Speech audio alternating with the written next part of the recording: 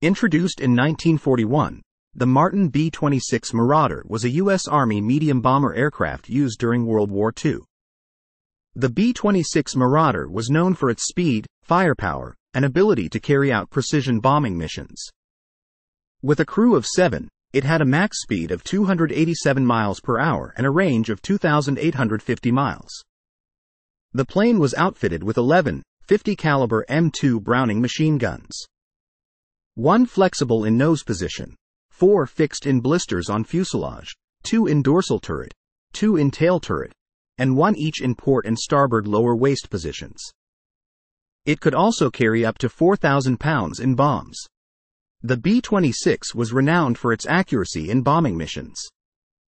It was equipped with the Norden bomb sight, a sophisticated aiming device that allowed for precise targeting of enemy installations and targets.